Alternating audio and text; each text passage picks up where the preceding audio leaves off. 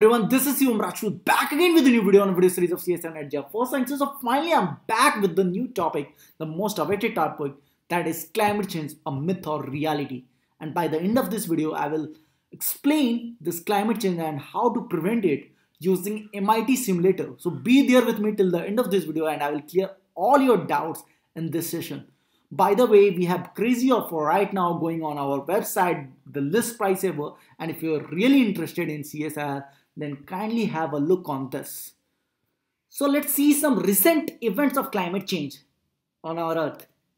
Here we can see that there is a snowfall in Algeria, which is a part of Sahara Desert. So snowfall is taking place in Sahara Desert, guys. Here in Canada, temperature goes up to 49.6 degrees Celsius, where the winter temperature is somewhere minus 40 to minus 50. See that there is a jump of some 90 to 100 degrees Celsius, and it's a new national record.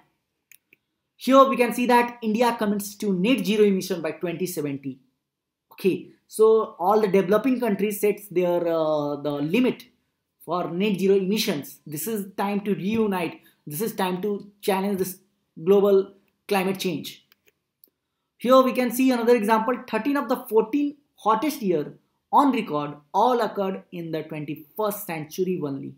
So it's been some 20 years only and in 20 years we have 13 hottest years. Think of it. If we see the past, some Proterozoic times 650 to 710 million years, the temperature is minus 58 degrees Celsius and that time the entire earth is under ice, even the equatorial region and what, what is the reason behind it? Why melting took place and again there is a global cooling event. So we'll see everything in detail in this video only. Okay, so let's start with the basic concept of climate change. What is a climate change means? So here I have an example.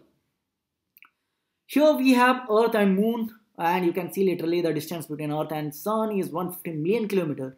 But the morning temperature on the Moon is somewhere 212 Fahrenheit in the night, it is minus 338 Fahrenheit. While on the earth, the range, the diurnal range of temperature is not that much. Now, what is the reason behind it? If you see, there is an atmosphere on the earth, but not on the moon.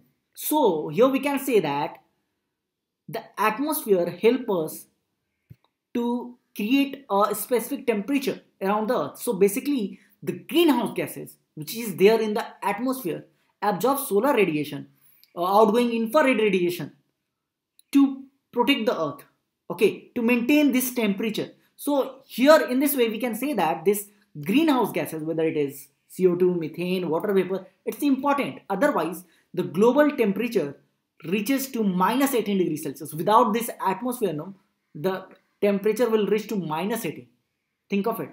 It's very important then we can say. Right? So uh, I already made a video on CO2, okay, biogeochemical cycle of CO2. I will give you the link in the description. Kindly check this out after this video. So here we can see that these are the sources of CO2. So in one way, CO2 is important, right? Because it is keeping the earth warm. But the point here is 15 billion metric tons of fossil fuels consumed every year. Think of it. Every year so remember, like 15 million, sorry, billion, it's billion metric ton. It will release so much of CO2. Now this extra CO2 affecting the earth. So this extra CO2 that is there in the atmosphere that leads to climate change. And climate change is basically uh, change in the uh, in the weather, in the in the long term weather.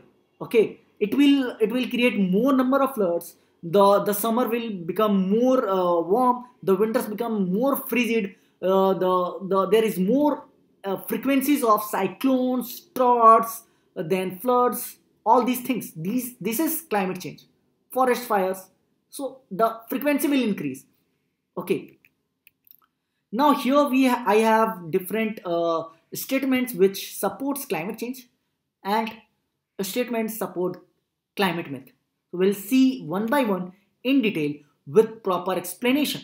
So let's uh, begin with the very first myth. In the past, scientists told about global cooling. Yeah, there are some papers somewhere in 70s and 80s, uh, 80s which uh, simply focuses on the radiative forcing and various other parameters uh, by radiative forcing by aerosols, radiative forcing of the entire earth and all.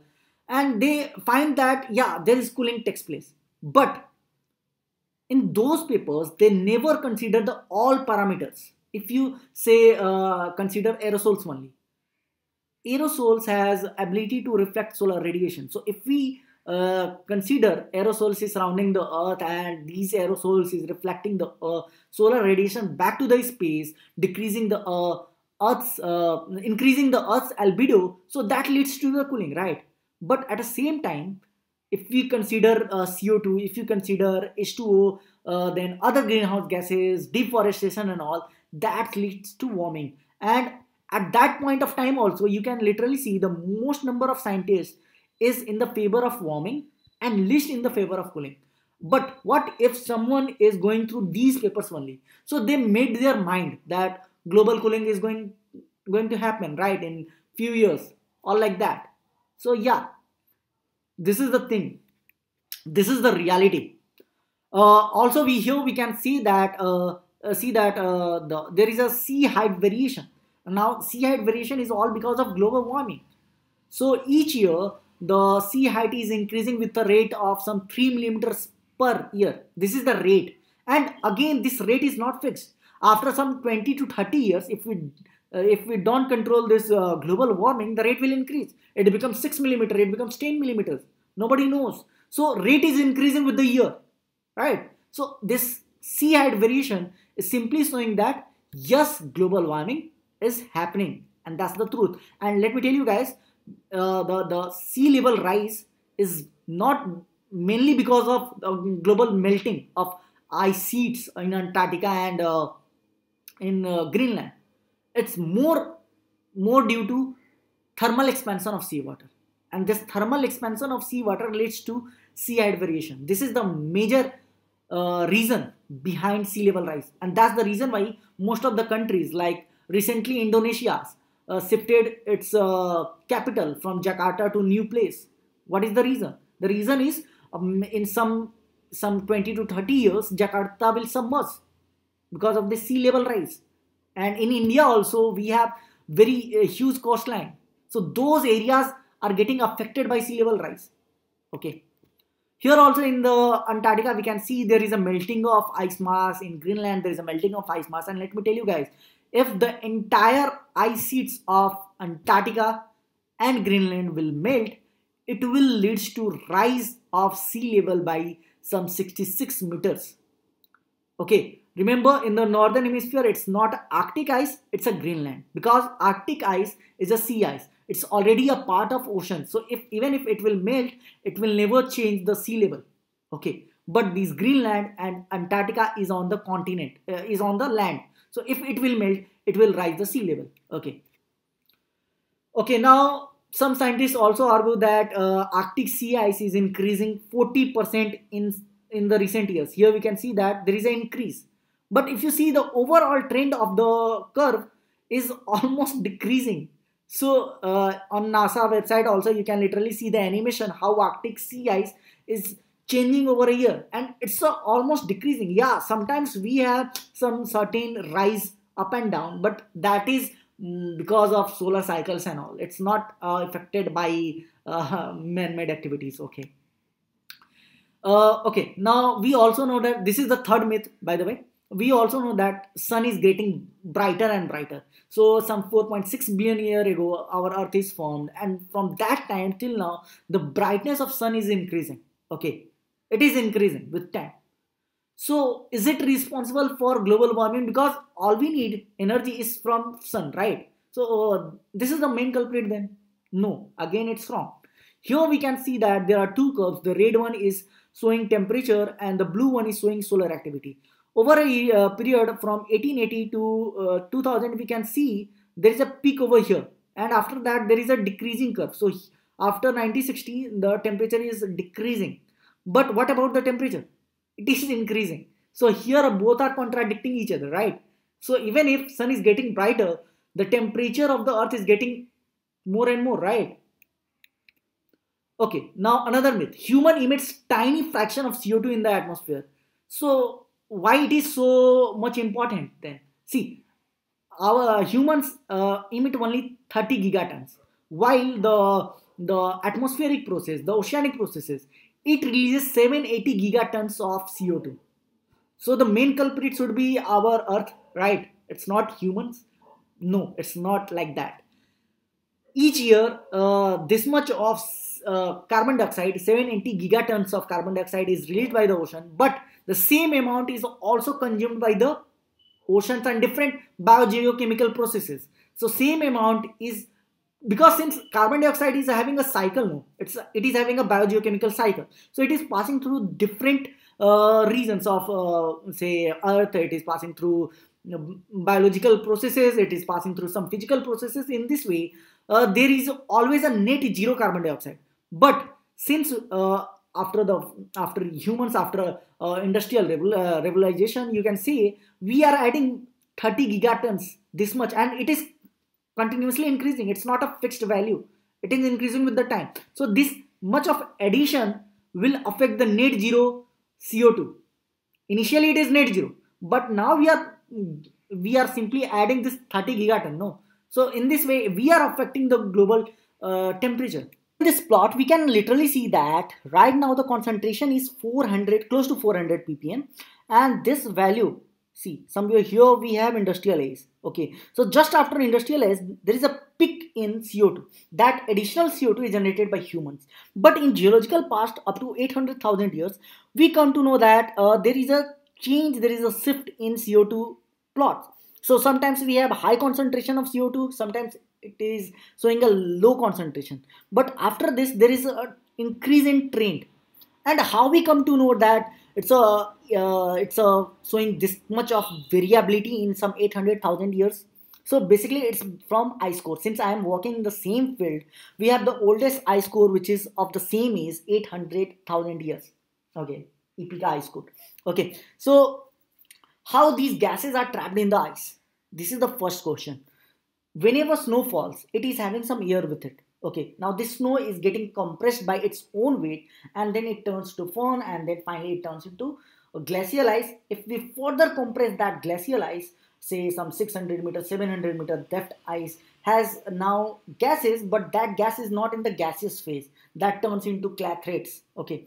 So basically we use that gases which is trapped in the ice cores to understand the uh, paleo atmospheric chemistry to understand the paleo gaseous concentration of atmosphere so what we do uh, we i will show you one animation through which you will come to know. So our very first task is to uh, simply do not contaminate the interior gases with ambient atmosphere. Because if we melt say if we melt any ice core in normal atmosphere what happen? The interior gases will simply contaminated with the exterior gas right? So for that we have some this kind of setup. So what we do is firstly we put uh, ice core uh, chunk of ice core into uh, this kind of flask now this sample is surrounded by ambient atmosphere because this this flask is having some ambient atmosphere now some gases are there nitrogen oxygen uh, whose uh, whose proportion is 78 is to 21 like that okay current proportion is there in this flask. So what we do is we use some vacuum uh, pipes to remove all the ambient atmosphere first. Now this is still frozen so the ears are still trapped inside it, right? So in this way you can literally see the gases is moving this way. It is removed out. It is removed out. Then what we do is we melt the sample. When we melt the sample, what happens? it will release all the trapped gases which is there in the sample to the flask okay now we freeze this water again. So we freeze this water again. Now after uh, getting frozen this gas is still there because the temperature is not that much to uh, uh, to to condense this gases. It needs it needs more uh, uh, negative temperature to condense. Okay. Now these gases is then taken out through another pipe another vacuum chamber and then it moves to this particular helium cylinder so this helium cylinder is at some uh, 4 degree Kelvin. Okay, it's very cold temperature. So over there, it again get frozen. Okay, once it get frozen, we put this sample into mass spectrometer. Okay, mass spectrometer.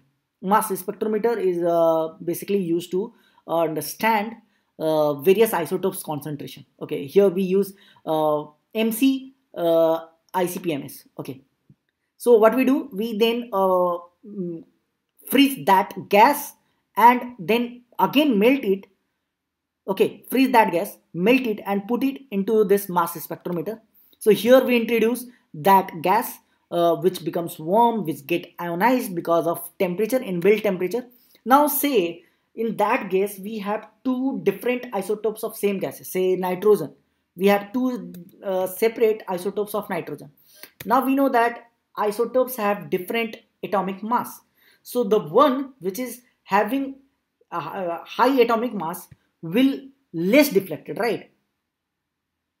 Which is lighter. Say we have two isotopes. Uh, one is having uh, 14 mass and one is having 15 mass. So 15 mass is having more inertia, no? It is having more mass, so more inertia. So it won't deflect easy, easily, right? So the one which deflects easily will hit this one, this sensor, and the one which deflects very uh, less which is heavy will simply hits this sensor in this way we know the concentration of different gases okay of same uh, di different isotopes of same gases are you getting my point? So here we have say nitrogen 15 and 14 so in this case uh, in this case uh, 15 is heavier. So it won't deflect much. So it will directly hit this sensor. And in this way we know the concentration of N15 while if uh, uh, we have 14 it will it uh, since it is lighter one so it get deflected which is uh, recognized by this sensor. And in this way we come to know about the concentration of different isotopes okay now once we know the different isotopes say nitrogen oxygen uh, then we use these proxies to uh, to reconstruct the paleo temperature paleo climate, paleo oceanography, like that. So say in uh, in the case of nitrogen 15 to the 14 it will help you to understand the global temperature. Oxygen 18 to the 16 ratio will help you to understand the ocean temperature. So like this we use different proxies. So here uh, we can see that how global temperature uh, sorry global co2 changes over geological past. Okay.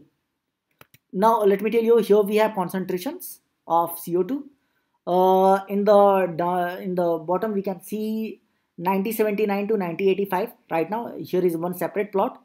Uh, here we have plots according to latitude. So this is 90 degrees south this is 30 degrees south equator 30 degree north and 90 degree north.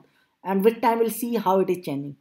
So uh, initially uh, right now we are having these plots are uh, because of uh, this uh, satellite readings and uh, in situ instruments which is placed on Mauna Loa. Okay, so daily you can see how it is varying CO2 and you can literally see there is a peak up up and down peak. The carbon dioxide uh, carbon dioxide is sometimes decreasing, sometimes increasing, but overall the curve is increasing. Okay, with time it is increasing, right? See and let me tell you, here we have maximum changes in 30 degree north and 90 degree north region. While somewhere close to Antarctica, the change is not that much. Here we have maximum changes because most of the developed countries are there. There we have Arctic and our whole uh, industrial revolution took place somewhere close to this region, right? This European region, 30 degree north and sorry, uh, 30, 90 degree north region, right?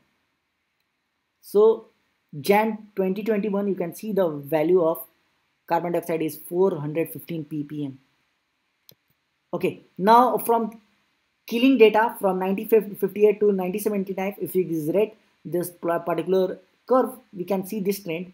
And this uh, trend is from uh, Law Dome ice core you can see we we are going back in the time. And from Epica ice core we can reconstruct the temperature some 800,000 years back. So Epica ice core dome you can literally see. It is going back in time.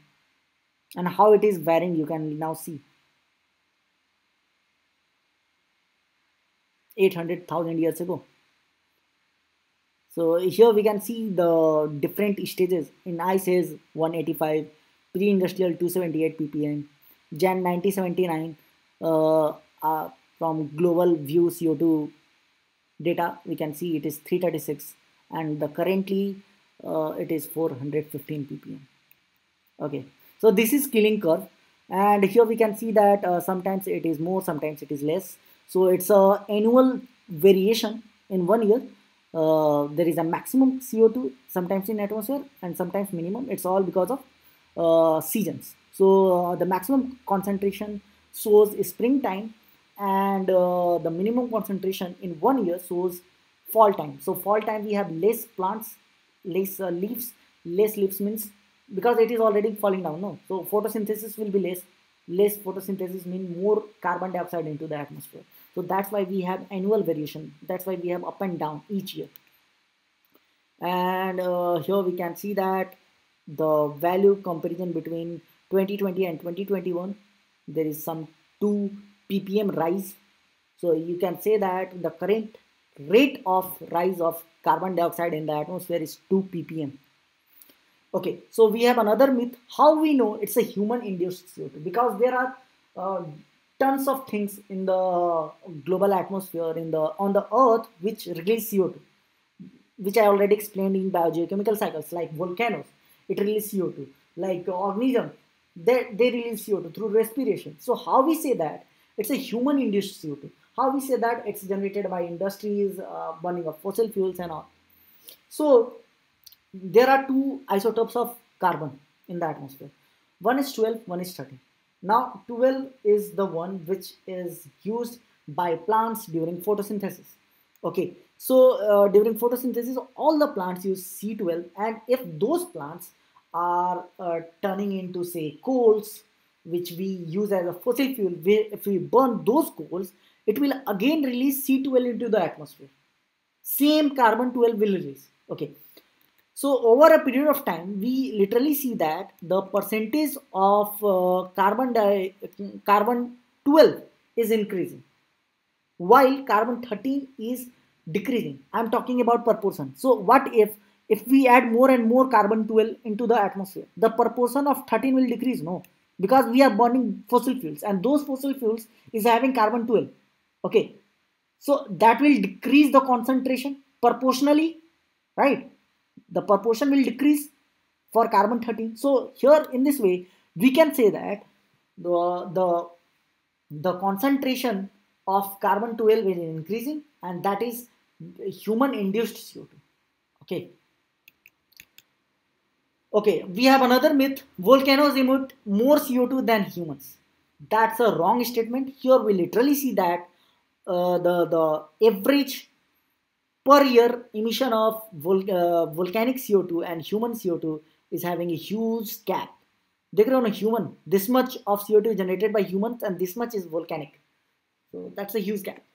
And why volcanoes emit CO2, I already told you, when limestone uh, undergoes subduction and all, so that limestone is made up of CaCO3 and on heating it breaks into CaO plus CO2, that CO2 released through the atmosphere. Then there is another myth, what about the water? It is also a greenhouse gas, right? See, water has three phases, solid, liquid and gas. In solid and liquid phase, it's not a greenhouse gas. But in a vapor phase, it acts as a greenhouse gas. And that is not human generated. It's all natural, right? But again, I will tell you, this is completely wrong. The amount of vapor in the atmosphere is again anthropogenic. Why? Because we are the one who increasing the who is increasing the global temperature. And if there is more temperature if if the atmosphere is more warmer it can hold more water vapor. So more and more concentration of water vapor is all because of warming of global atmosphere. Okay. Are you getting my point? We are in increasing the temperature and that increasing temperature leads to more evaporation that leads to more holding of water vapor into the atmosphere so it's it's a feedback thing. Okay, positive feedback. We are increasing temperature and that leads to increasing water vapor and that leads to more absorption of infrared radiation that leads to more melting and that more melting leads to again lower the albedo and increasing the temperature again. So the whole chain will goes on and on to increase the global warming. Okay, another myth, Earth has warmed and cooled in the past. So I already made a video on this, the effect of Milankovitch cycle on the climate change that I already uh, explained on my YouTube channel. I will give you the link in the description. Have a look on that also. Uh, in uh, by the way, I will give you the summary. So basically, because of this Milankovitch cycle, the Earth's orbit and tilt varies with time. Okay, it varies with time. So that change, that shift in the orbit and tilt will affect the net radiation reaching to the Earth's surface. Okay, so this eccentricity is having a period a cycle of 1 lakh year. This is having a cycle of uh, some uh, 41,000 23,000 like that. So these, these are the cycles which occurs at different intervals. Okay. Now because of these cycles the net intensity reaching the earth surface will affect. And if we affect the net uh, net solar radiation reaching the earth surface our earth will heat differently in different period. If it is close then it will heat more. If it is far from the sun it will heat less. So in this way we can say that the net change in the radiation affects global heating and cooling. But right now what is happening? What is happening? We are adding more and more co2 and that leads to change in the global temperature. It's not only the uh, Milankovitch cycle. Okay so we have now something other to increase the radiation to increase the warming. Okay uh, so from this Milankovitch cycle if we see the plots uh, there is a temperature plot over here and CO2 plot over here. But one thing you can note that this CO2 lags behind the temperature. That means first temperature is rising then CO2 is rising. Okay if temperature is is the effect of CO2 that means temperature should lag behind the CO2 but here things are opposite यहाँ देखो temperature पहले बढ़ा है then CO2 is increasing so that means increase in temperature leads to increase in CO2 are you getting my point so why it is showing so why it is happening here also you can see the temperature is increasing first then CO2 why it's all because of this Milankovitch cycle only so the net change in total radiation will increase temperature first. If the temperature will increase, then it will increase melting. That leads to more release of CO2, which is there in permafrost, which uh, which uh, uh, is there in trapped ice, and that and that in that way the temperature of global climate is increasing. Okay, so but but these kind of processes in there in geological past. It's not a current scenario. It's not a pre uh, post industrial uh, revolution thing. Oh it's before industrial revolution. Okay this particular thing. Okay here also we can see that uh, because of this industries only the co2 is affected more. Like uh, in 2019 somewhere here in the in this week we can see the concentration of co2 is this much but after that we all know because of this coronavirus lockdown is going on and the co2 emission weekly global CO2 emission will decrease because of this coronavirus. Most of the industries, uh, like industries and the whole, uh, most of the places have lockdown and all. So yeah, that leads to less production of CO2. No, so here we can see that's a proof that we are the one who is generating CO2. So now the question is who is cul culprit? Okay, so we can uh, like uh, see that from this plot the upper middle income companies the developed uh, countries and also the developed countries had developed companies.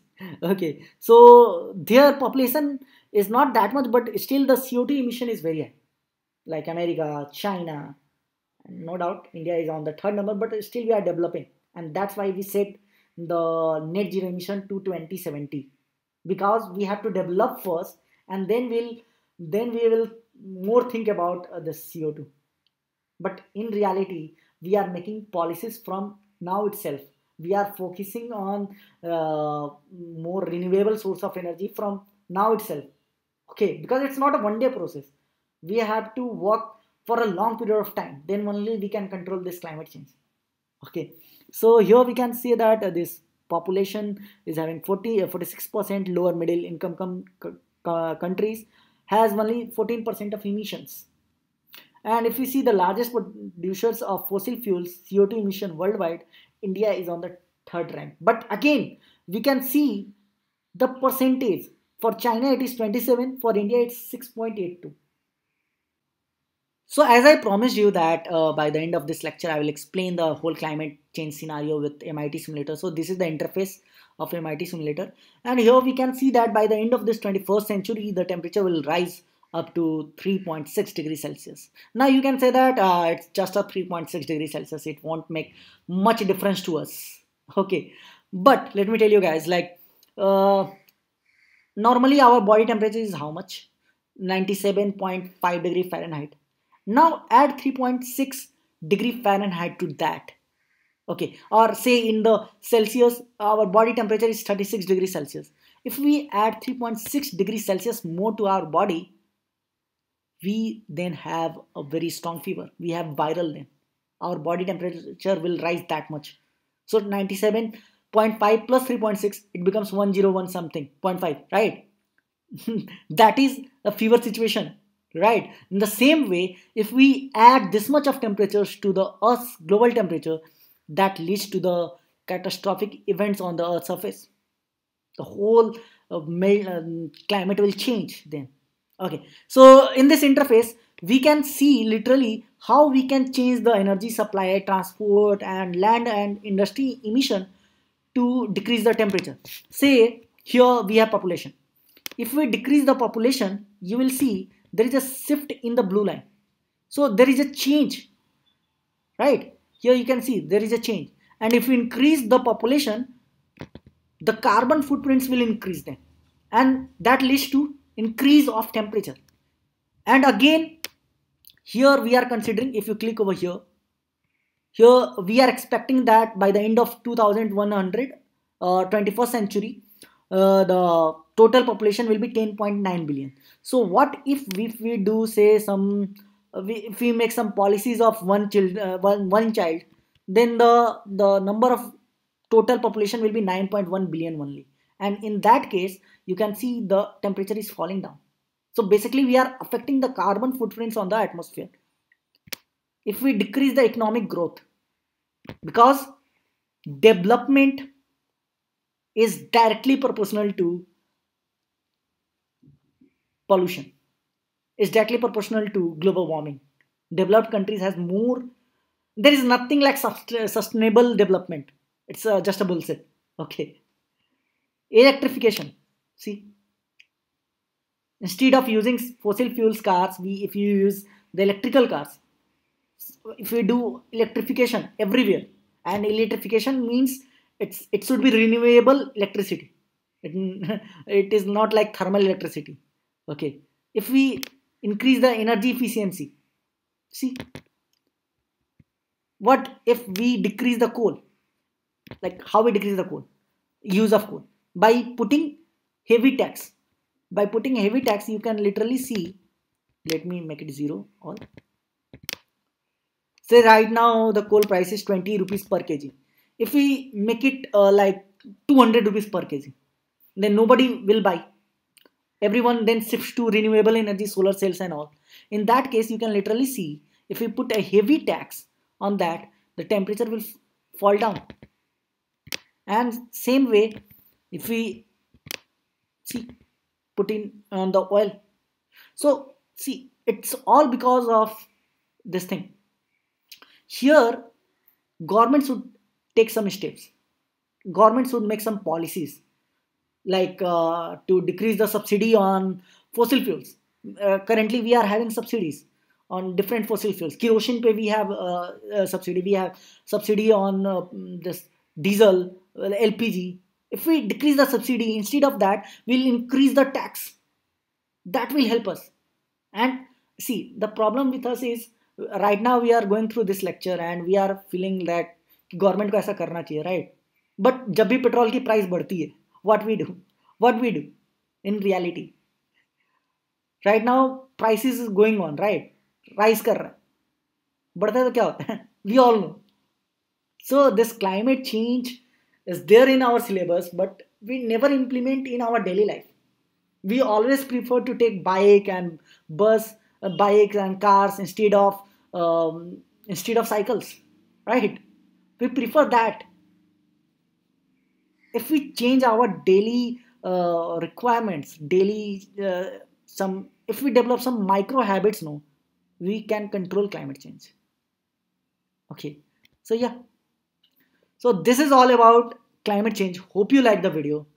And it really takes lots of effort. So please do like share subscribe and comment. Okay. Please. So that's it everybody. Hope you like the video 这600。